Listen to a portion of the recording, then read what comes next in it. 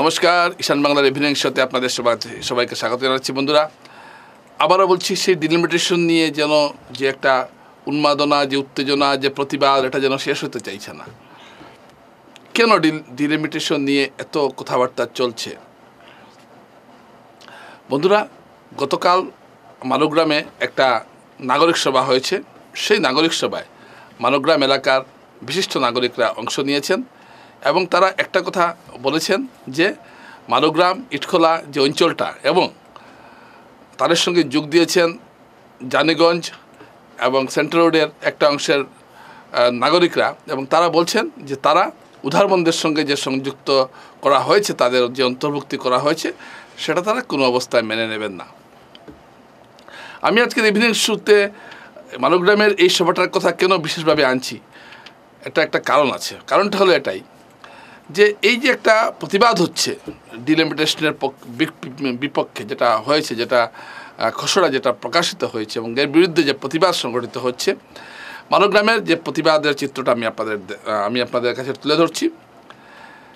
এখানে আমরা দেখলাম যে বক্তব্য যারা রেখেছেন বা যারা উপস্থিত ছিলেন, তাদের মধ্যে বিজেপি, কংগ্রেস, বিডিএফ সহ, সিপিএম সহ বিভিন্ন রাজনৈতিক দলের লোকরা রয়েছেন।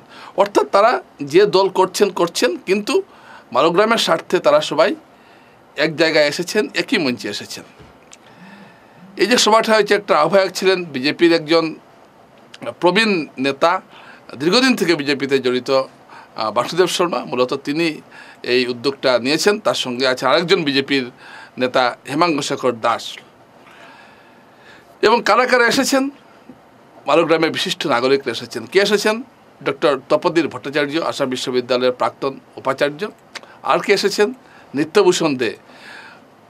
ভারতীয় জনতা পার্টি বা বিজেপিতে যদি সারা বরাক উপত্যকায় কবীন্দ্র প্রকাশের পর যদি কারও স্থান থাকে, সিনিয়রিটির দিক দিয়ে, তাহলে কিন্তু নিত্যভূষণ দে। নিত্যভূষণ দেকে কবীন্দ্র প্রকাশকে বাদ দিয়ে যেমন বিজেপি চিন্তা করা যায় না, ঠিক সেরকম নিত্যভূষণ দেকে বাদ দিয়ে বিজেপি চিন্তা করা যায় না। অর্থাৎ বরাক উপত্যকার বিজেপি সংগঠনের সঙ্গে তিনি দীর্ঘ চল্লিশ, পঁয়তাল্লিশ বছর থেকে জড়িত। এবং বলতে গেলে বিজেপির জন্মলগ্ন থেকেই তিনি বিজেপির সঙ্গে আছেন। সেই নিত্যভূষণ দে এই যে ডিলিমিটেশন হয়েছে, মালগ্রাম এলাকাকে যেভাবে উদাহরণদের সঙ্গে যুক্ত করা হয়েছে, সেটার প্রতিবাদ তিনিও জানিয়েছেন। তো আমরা কি দেখলাম? যে দল, মত নির্বিশেষে মালগ্রামের মানুষ এর প্রতিবাদ জানাচ্ছেন। এটা একটা বন্ধুরা, এটা একটা তাৎপর্যপূর্ণ ঘটনা। ডিলিমিটেশনের বিরুদ্ধে যে প্রতিবাদগুলো উঠছে এবং ডিলিমিটেশন নির্বাচন কমিশনের যে যে খসড়া, এর বিরুদ্ধে যে প্রতিবাদ সংগঠিত হচ্ছে, এটা কিন্তু আসলে সরকার বিরোধী কোনো প্রতিবাদ নয়। এটা হলো কমিশনের যে সিদ্ধান্ত, সেটার বিরুদ্ধে একটা প্রতিবাদ।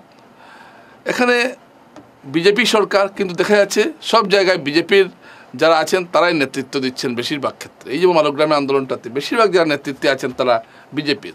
কংগ্রেসের কে আছেন? কিশোর ভট্টাচার্য আছেন এখানে আর বিডিএফের আছেন প্রদীপ দত্তরা। কিন্তু যারা মূল নেতৃত্ব দিচ্ছেন যেটা, এটার মধ্যে আমরা দেখছি বিজেপির লোকজনই বেশি। অর্থাৎ তারা তাদের এলাকার স্বার্থে শিলচর বিধানসভা কেন্দ্রের স্বার্থে তারা একজুট হয়েছেন। কারণ শিল কারণ মালগ্রাম যে এলাকাটা শিলচরের গুড়াপত্তন হয়েছিল এই এলাকা থেকে। শিলচরের ইতিহাসের সঙ্গে যদি আপনি মালগ্রামকে বাদ দিয়ে দেন তাহলে হয় না। মালোগ্রাম হলো শিলচরের ইতিহাসের একটা সাক্ষী। শিলচর শহরে গুড়াপত্তন হয়েছিল মালোগ্রাম থেকে এবং শিলচরের সংস্কৃতি, শিলচরের ক্রীড়া সব কিছুর একটা আমরা যদি প্রতিফলন দেখি তাহলে সেটা মালগ্রামের মধ্যেই দেখতে পারি। একটা ঐতিহ্যবাহী জায়গা হিসাবে মালগ্রাম স্বীকৃত। কিন্তু সেই মালগ্রামকেই এই ডিলিমিটেশনে কেটে দেওয়া হয়েছে উদারবন্দের সঙ্গে। এবং এই সভায় তারা বরাক উপত্যকায় যে দুটি আসন কমানো হয়েছে, তার তীব্র প্রতিবাদ জানিয়েছেন।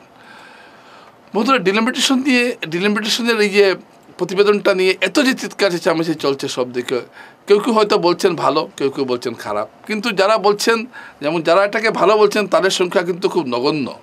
এবং যারা এই খসড়াকে মেনে নিয়েছেন, এদের সংখ্যা নগণ্য এবং যারা মানেননি, তাদের সংখ্যা কিন্তু বড়।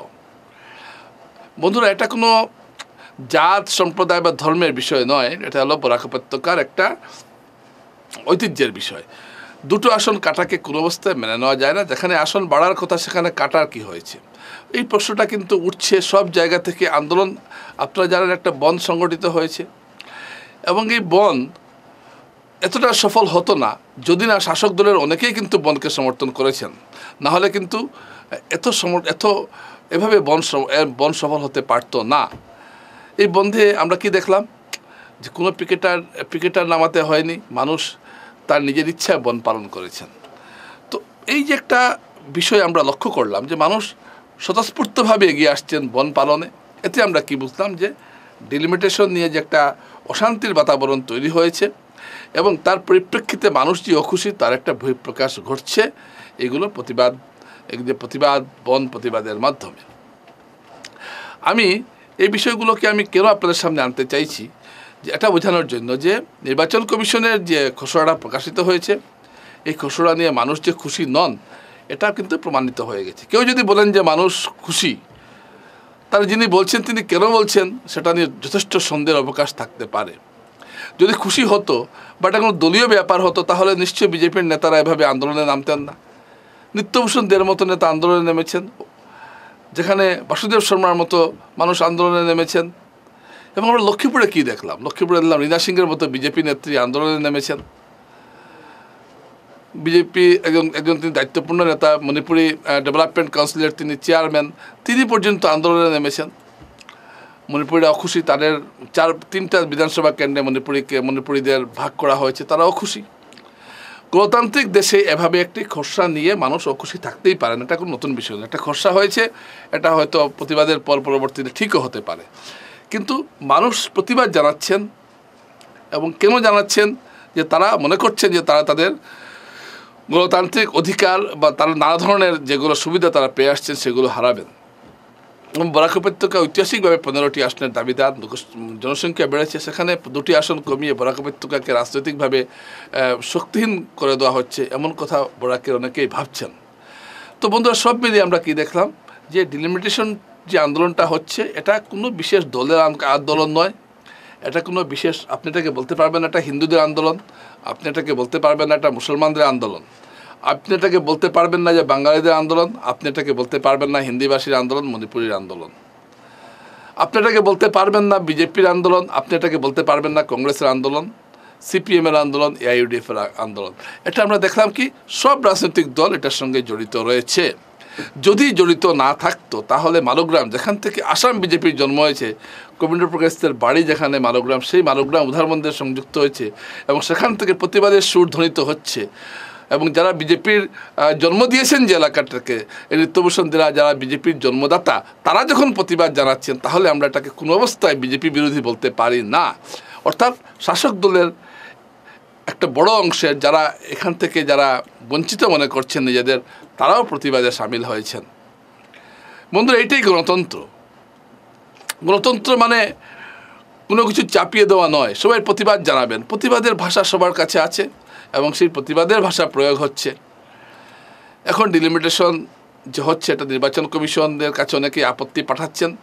আমাদের গ্রামের মানুষ আপত্তি জানাচ্ছেন। বরাক উপত্যকা থেকে অনেক আপত্তি যাচ্ছে এবং ডিলিমিটেশন কমিশনের ডিলিমিটেশন কমিশন নয় নির্বাচন কমিশনের যে একটা প্রতিনিধি দল গুয়াহাটিতে আসছে মানুষের অভিযোগ নেওয়ার জন্য বরাক উপত্যকা থেকে দাবি জানানো হচ্ছে, তারা যেন বরাক উপত্যকায় আসেন মানুষের অভিযোগটা শোনার জন্য। পরিস্থিতিটা ঠিক এই জায়গায় দাঁড়িয়েছে বন্ধুরা। প্রতিবাদ ধ্বনিত হচ্ছে অনেক দিকে।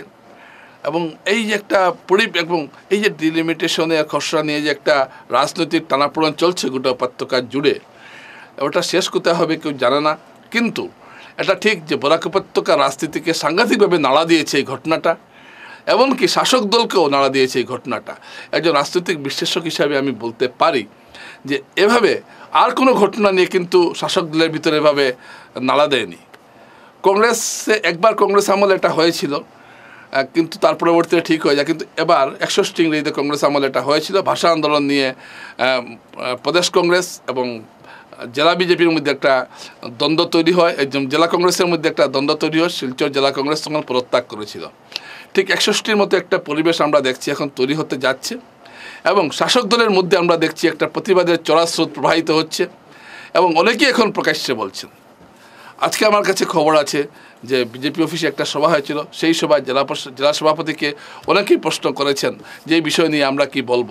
কারণ মানুষ কিন্তু প্রশ্ন করছেন, আপনারা মানুষের বাড়ি বাড়ি যান শিলচর চাষতলে যান, মানুষের সঙ্গে কথা বলুন, কেউ কিন্তু এটা নিয়ে খুশি নন, এটা কিন্তু ঘটনা। জোর করে খুশি বললে তো হবে না। কেউ কিন্তু খুশি নন। বন্ধুরা, এখানে কোনো রাজনীতি নেই, কোনো সরকার বিরোধিতা নেই, কোনো দলের বিরুদ্ধে নয়। সব দলের মানুষ আমরা দেখলাম। এখন প্রতিবাদে সোচ্চার হচ্ছেন। এখন গণতান্ত্রিক দেশ হিসাবে এখন আমরা দেখব যে এই বিষয়ে নির্বাচন কমিশন কি সিদ্ধান্ত নেয়। ধন্যবাদ।